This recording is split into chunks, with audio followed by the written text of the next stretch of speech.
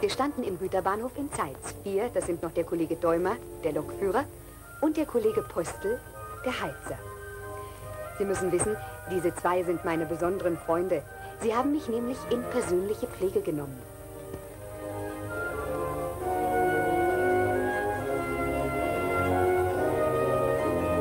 Wir standen also so da.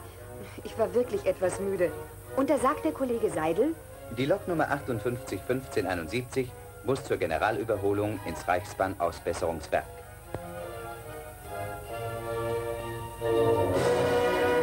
Ja, und damit begann für mich das Erlebnis meines Lebens. Ich wusste es doch, die Müdigkeit hatte ihren Grund. Also gut, auf nach Zwickau ins RAW, 7. Oktober.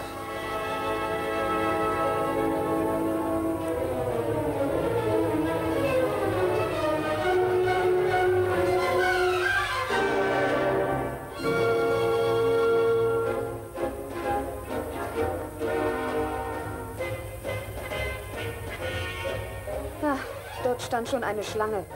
Sie alle warteten. Und Sie wissen ja, wie das in so einer Schlange ist. Da laufen die tollsten Gerüchte um.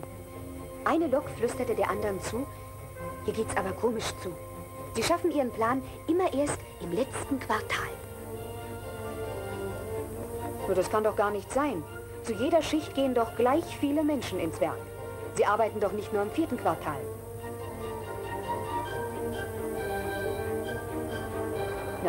Hier wird doch gearbeitet. Finden Sie nicht auch? Es scheint doch alles in Ordnung zu sein.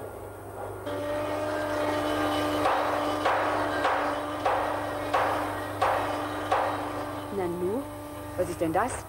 Hier stehen doch einige herum und warten, weil sie in diesem Gewühl nicht arbeiten können. Also diese Enge ist ja unmöglich. Wenn da nichts passiert, da sollte es mich wundern. Da können wir draußen natürlich lange warten. Sieht denn das keiner? Seit Jahrzehnten wird so gearbeitet. Und wenn man gegen etwas Althergebrachtes kämpfen will, dann muss das Neue sehr gut sein, sonst überzeugt es nicht. Als erstes muss genügend Platz zum Arbeiten da sein.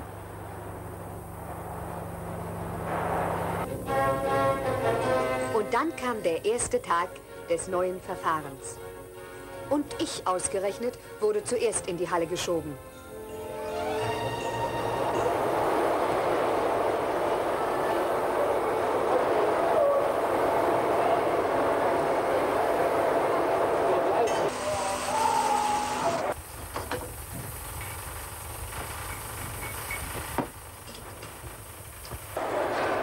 Richtig stand, war ich schon in alle Teile zerlegt.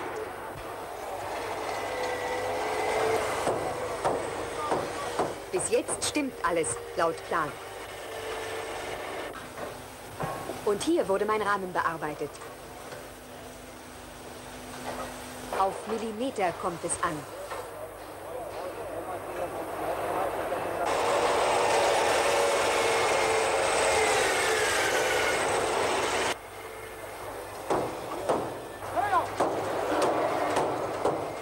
Mein armer Kessel hatte in der Zwischenzeit allerhand über sich ergehen lassen müssen. Die Kollegen in der Kesselschmiede wussten, worum es ging. Mächtig rückten sie meinem Schlackenpanzer zu Leibe. Eine ganze neue Kesselecke wurde für mich zurechtgemacht. Nicht mehr von Hand schmieden? Das ist ja eine gute Verbesserung. Ich erinnere mich, dass früher das Werkstück achtmal erhitzt werden musste.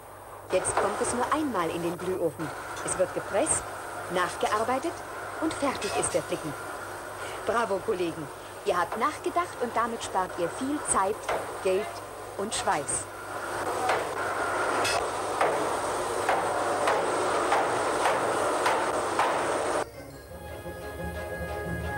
Wie weit seid ihr mit dem Flicken? Fertig? Dann kann er ja gleich zum Einkleiden in die Kesselschmiede. Und so wurde diese Lücke geschlossen. Na, ich muss schon sagen, die Gewerkschaft hat die Kollegen ganz schön bei ihrem Ehrgeiz gepackt.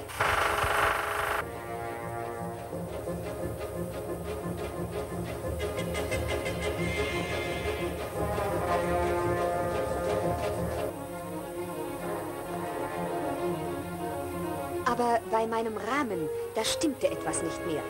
Missmutig saßen die Arbeiter auf den Körben. Der Kessel war nicht zum vorgesehenen Termin da. Otto, der Brigadier, war wütend. Jetzt platzt der Takt. Was soll nun passieren? Das kann nur an der Zubringerabteilung liegen, die die Kessel einkleidet. Die Jugendbrigade arbeitete, aber noch nicht an meinem Kessel. Wie kam denn das? Nach der alten Methode kann die Jugend dem Taktverfahren nicht mithalten. Sie schlägt daher vor, keine Flickarbeit mehr zu machen, sondern den ganzen Kessel neu einzukleiden. Eine Schnellreparaturmethode. Dazu müsste aber der Kessel hier heraus und in die Halle neben die Kesselschmiede kommen. Die Bleche müssten vorbereitet sein. Gut, Freunde, arbeitet so.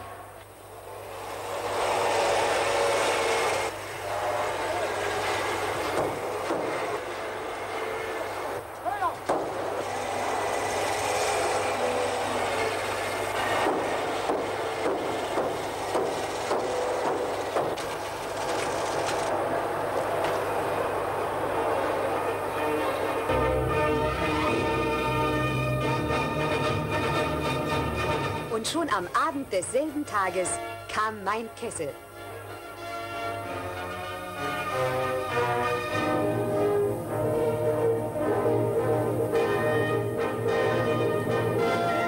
Sorgsam wies ihn Kollege Moldenhauer ein. Trotzdem, einen Tag hatten die Kollegen verloren. 16 Tage hatte man errechnet. Ich begann schwarz zu sehen für den Termin. Ruhig und überlegt arbeiteten die Kollegen vom Tag 3. Sie wussten, ein Tag Rückstand ist aufzuholen.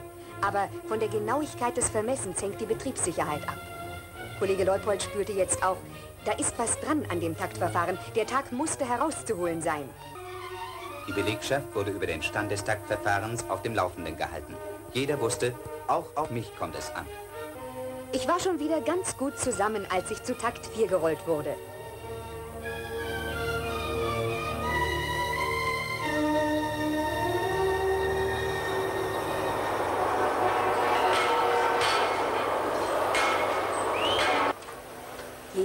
Minute war kostbar.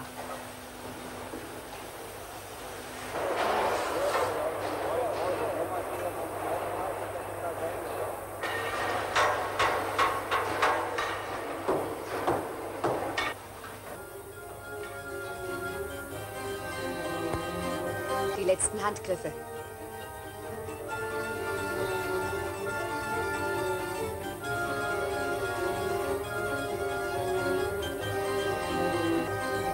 Überprüfung. Hier war ein Fehler, der musste schnell beseitigt werden.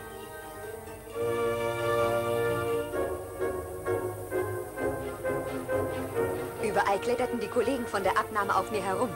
Aber ich bekam eine hohe Auszeichnung, die Anerkennung für die guten Leistungen der Kollegen. Wir waren mächtig stolz darauf.